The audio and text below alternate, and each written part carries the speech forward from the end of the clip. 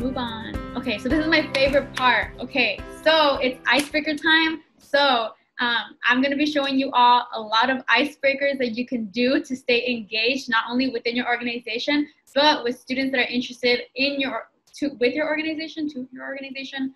Um, so we know that we know and acknowledge that you're not only going to be using Instagram during this week. We're hoping that you all create socials and virtual events. Um, and these icebreakers are to help to help kind of like break the ice within each group. That way, um, the Zoom calls are not like they're not too formal. They they're not like intimidating. You got some games um, and have students kind of going along with what you're doing. So, um, like I mentioned, I have lots of icebreakers that we're gonna do. And not only am I gonna explain them, but I'm hoping to practice them with you all. That way you all can, um, like I said, practice and then take this out with you. So uh, for those of you who would like to participate, I'm hoping you all are ready to use either your mics and or your cameras. So the first one I have is, dun, dun, dun, I love my fellow otter. So I know many of you have probably played this already um, in person, but the instructions for this game and turning this virtually is that one person will share a phrase that pertains to them. And if you relate, you turn on your camera with an expression. And I say an expression just to spice things up. Because um, if you turn on your camera and you're just like, yep, then it, it, it kind of defeats the point of having fun. So you would turn on your camera with an expression and see who else relates to it. And then the last person to turn on their camera will be the person who gets to say the next phrase.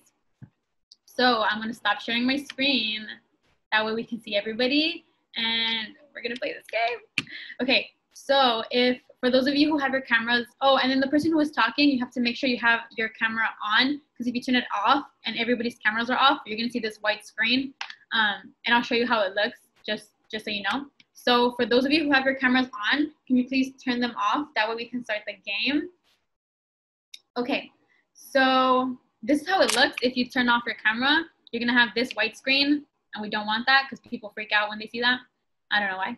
But um, so I love my okay, if you pertain if you what is it? If you if you pertain to the phrase that I'm gonna say, you open your camera with an expression. So like hey or woo, woo, woo. okay. So I love my fellow otter that has more multiple piercings. Where y'all at? Okay. Love that. Okay, the last person who I saw turn on their camera was Caitlin. So I'm putting you on blast. So you can say the next phrase. You're muted. Sorry. I've done that so many times. It's ridiculous. Um, I love my fellow otter who wears a black mask on the daily.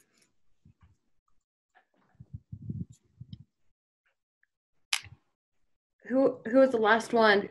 I think I think it was you, Kristen. I think it was like all glittery. It looked like it was you. I, I don't know. I have like these like, really sparkly letters.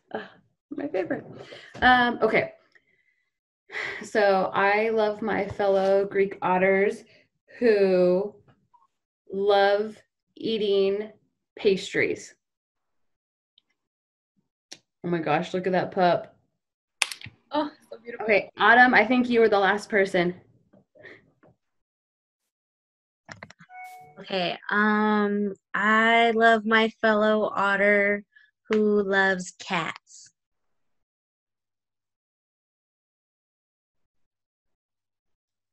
Oh shoot.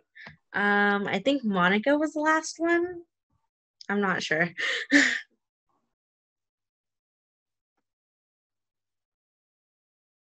I'm muted. Um, I love my fellow otter who loves dogs.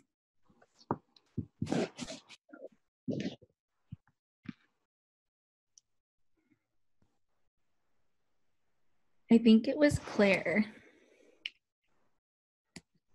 Okay. I love my fellow otter who has been camping or who likes to camp.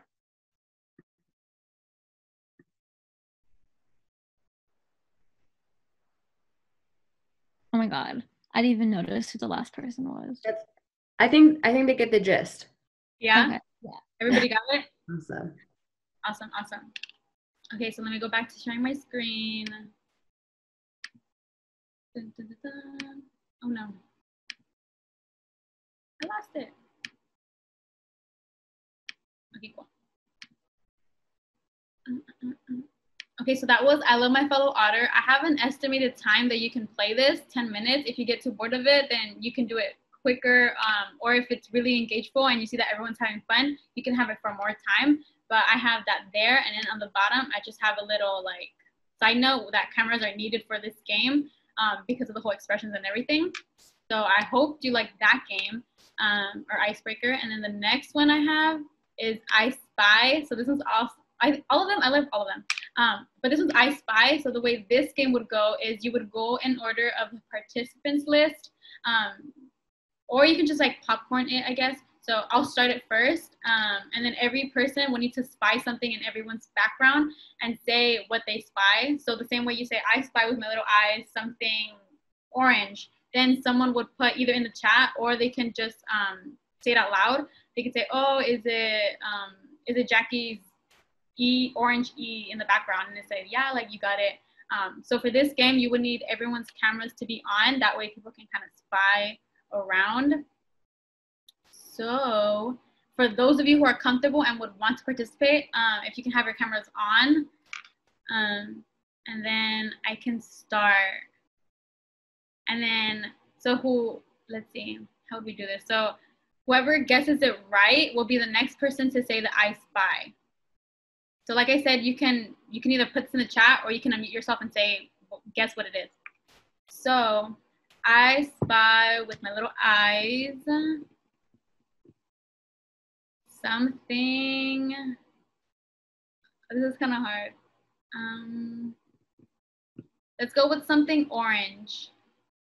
It's not this, but it's something orange. Oh. Oh, I was gonna say, is it the SF hat? Ramon, I see it. Yeah, is that it? Yes. Woo!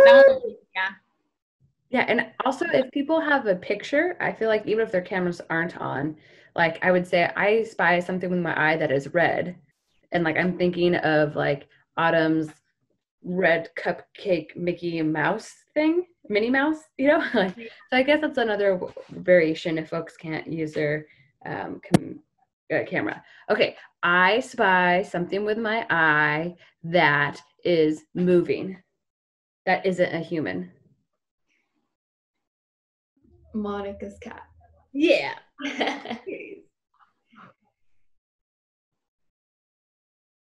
So Kathy, you would say the next phrase.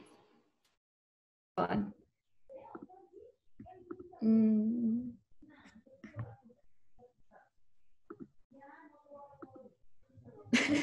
I can't see anything in anyone else's background. It just looks plain. Um, I spy. Mm, a plant someone's background. A plant? Background? Yeah, This is hard because you it's I don't I can't even like see and like you have to like see, see, Wait, I think Dulce said something. What did you say again? Was it is it Monica's background? yeah she has like the most like interesting background and just like a cat it's so hard because like I don't know Yeah. It's hard to like actually see things because Mhm. everyone's like I don't know I'm blind too Yeah, I feel like for this game, it'd be cool if you can like change your location for like something that like there's stuff in the background and you're not like facing a wall. That way, um, students can have something to actually look at and pick. yeah like just let them know Yeah. to have Okay. like an interesting background I don't know Um, something else that could work is if someone that shares a screen and there's like just a picture of like a whole bunch of like Avengers or like something like that, and then you could just like go off of that. Also, That's a good one. Yeah. Kind of like Waldo. Yeah, that's what I was thinking. online. You can just like look it up. Like I've used it for like my students and stuff, um, where it's like it's like I Spy with My Little Eyes, and it's just like a picture of a bunch of random stuff, and then that allows them. It's kind of, it's like it's coloring books. So they're just like online PDFs. So yeah. Okay, okay. So now we have more ideas coming in. Thank you for those of you for those of you who are sharing your ideas. Um, so yeah, so not only can you do the I Spy with the Zoom, but you can also share your screen and have like pictures or like an actual like where's Waldo or something. Um, I love this crowdsourcing so much. awesome. Okay, so now we get that game. Let me see if I can go back. Okay, so that was I Spy. And then the next one I have for y'all is Zen counting. The way this game, ah, my pictures. Okay, so the way this game would go is you would count up to 10 with your group without having more than one person say the same number. So we can go up to 10, and then if that's easy, then we can go up to 20. Um, so I've seen this in person where it's harder in person. I don't know how it would work virtually. I want to practice that with y'all. So um, for this one, you would just need your mics to be turned on. And if you want to make it harder, then everybody's mics would be turned off. That way you don't know when someone unmutes themselves. Um, but you would ultimately say one, someone else would say two. If you have two people say the same number, then you start all over. So let's try this one out. Okay, do y'all want to try with cameras on or without cameras off? Give me like a thumbs up for your cameras on, thumbs down for cameras off. It'll be harder if you have our cameras off. I don't know how. You, I don't think you could do thumbs down with reactions. It's just clapping. Oh, like like with your camera. Oh, Okay, wait, cam- but, but you just said no camera. Sorry.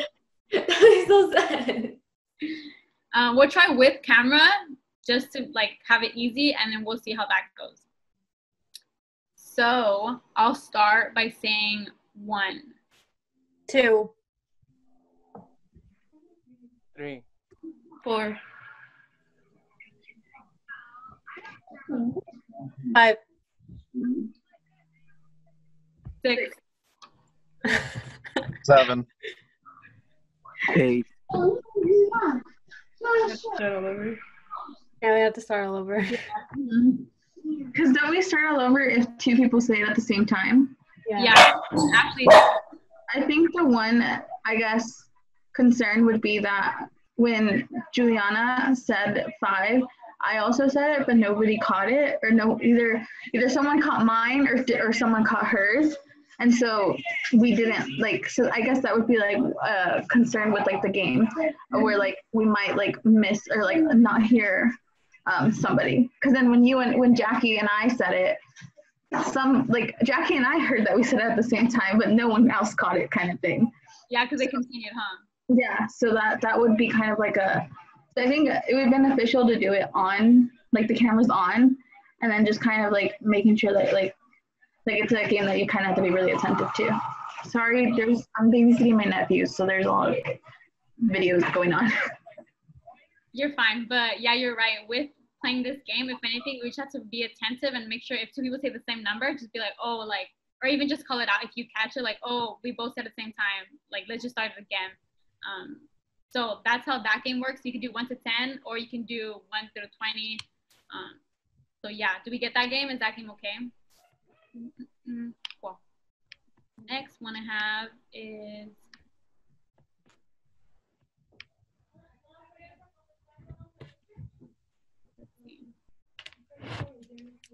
Next one I have is commonalities. This one I can explain just because you have to put people in breakout rooms.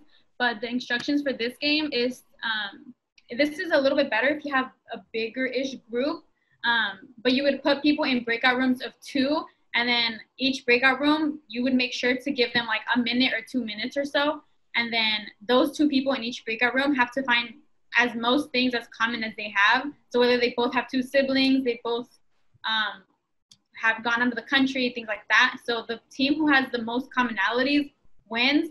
Um, and then I put in the bottom, you don't really need to have your cameras on because you're ultimately you're just, you're just com- conversating, conversing. I don't know how to say that. Um, having a conversation with the other person, and then you go back and then you see who has the most commonalities within each other, and then ultimately what usually happens because I've played this with um, my orientation group because I'm an orientation leader. Ultimately, when you have a lot of commonalities with each other, you tend to like kind of create a relationship because you have a lot of things in common. Um, so you can play that game, and you can also rotate where like two people can find um, common things with each other, and then you can switch it around where you you then have another person to talk to and find common things like that. Okay, next one we have is let's see if this goes.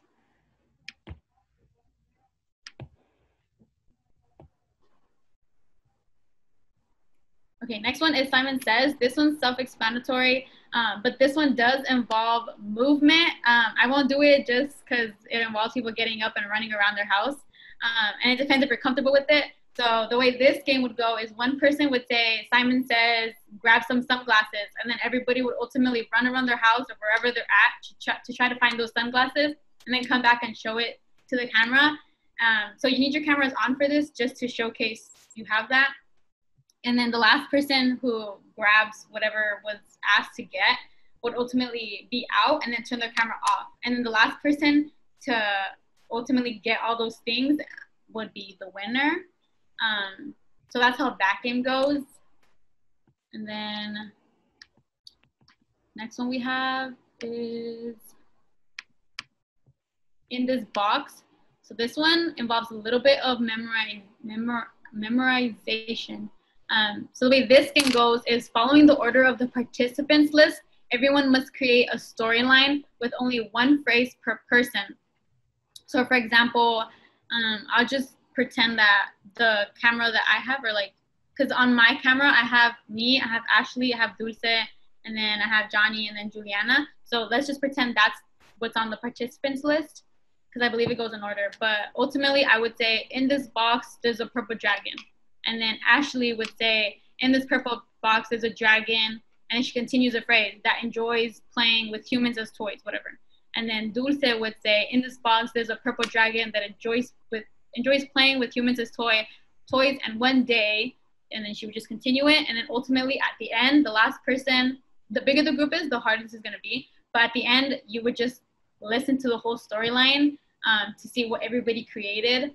And then I put in the bottom that cameras are not really required to be on because ultimately you're just um, speaking through the mic. But this one could be hard. That got really dark, Jackie. And the next one I have. Wait, what's up? I said that got really dark with like a dragon who likes to play Oh. with humans as toys. Like, I don't know why that just popped up in my head. but but yeah, that was that game. And then the next one I have. Oh wait, actually, before I continue, does anybody have any questions from those past games that I just went through? Are we good? Yeah, yeah, yeah. Okay, cool. So the next game I have is Alphabet Speed. Alphabet Speed. Um, so this game, every participant in order of the participants list will say the, the next letter of the alphabet along with something that starts with the letter. So um, let's say I'm first on the top of the participants list. I would say A for apple. Next person would say B for boy, C for cat, D for dog, la la la la, and it'll keep going in the participants list. So you just have to make sure to follow there. The only problem with that is sometimes when someone turns on their mic, the part that name tends to shift to the top because they're talking. So you can also write everyone's name in order in the chat. That way everybody knows who's who's the next person to speak.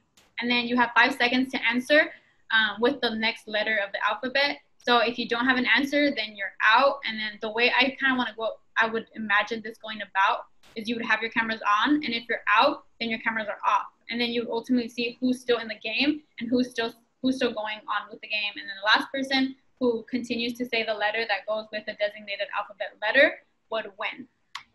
And then I just made a side note on the bottom: the cameras on is necessary. Yeah. And that Let's find another way. this one's really fun if you want to get it uh, into into specific categories. For example, you could do like things you'd find in the ocean. So for A, you could do an anchor. And that I didn't know what I was going to say. B could be for a uh, boat, you know, and like you Yeah. just have a bunch of different categories. Um, wow, that was really hard. Wow. Yeah, so making it into categories can make spice things up and make things a little bit harder. Um, I have it for five seconds. You can ultimately rearrange it to have it to 10 seconds, and whoever, someone can keep count of those seconds. And then just call them out and be like, oh, like your 10 seconds are up, like looks like you're out or something. Um, just make sure you're engageful and playing, playing along and participating. That way, um, other people who are playing the game can see your excitement for it and they want to participate more and actually play the game.